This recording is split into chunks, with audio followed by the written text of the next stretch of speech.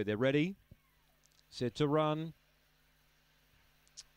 Away, Castle Rock topped out pretty well here. It looks like he'll find the lead pretty clearly.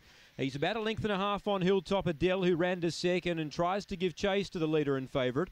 Dinah went to third, back straight they reach now, then flown away. Well back in the field, Destiny, Cherokee, Pretoria Sun, and another Jack is last. Leader up front, Castle Rock. Now running on in second, Dinah Zenny is coming after the leader a length and a half away. Then Hilltop Adele, still it's Castle Rock. Back to the inside, Dinah Zenny's coming, but Castle Rock, he'll do enough, defeats uh, Dinah Zenny. Now flown away and might have run third. Destiny Cherokee and Hilltop Adele are the other two in that photo, but they seemingly tangled up there past the line. Another Jack and Pretoria Sun with the last pair home, 30 and 18 for the debutant Castle Rock. Number two, he does enough. Dinah certainly was coming.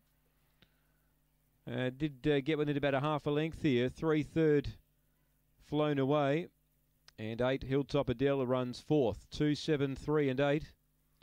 180 into 140. Castle Rock. Dinah certainly took ground off him.